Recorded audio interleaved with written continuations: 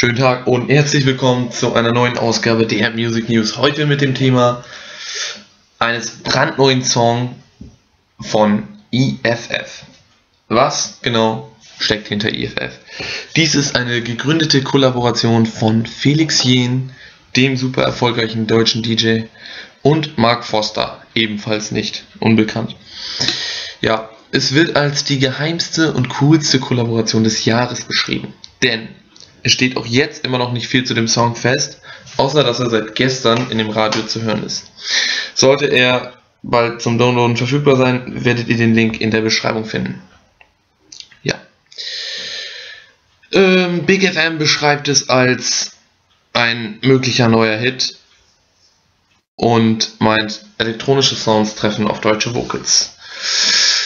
Was ja auch der Fall ist. So, nochmal zu Felix Jen. Seine letzten Erfolge sind noch immer in den Charts.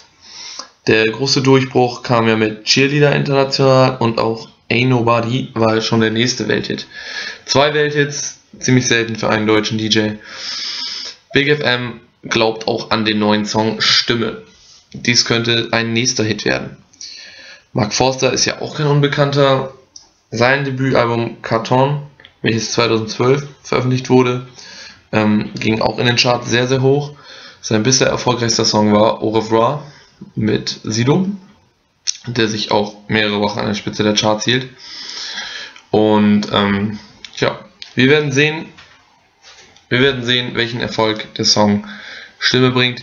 Ihr könnt ihn, glaube ich, erst im Radio hören. Ich habe noch nichts dafür gefunden, das tut mir natürlich leid. Link kommt sofort, sobald es etwas Neues gibt und ich hoffe, ihr seid ebenfalls Fans des Songs. Bis zum nächsten Mal.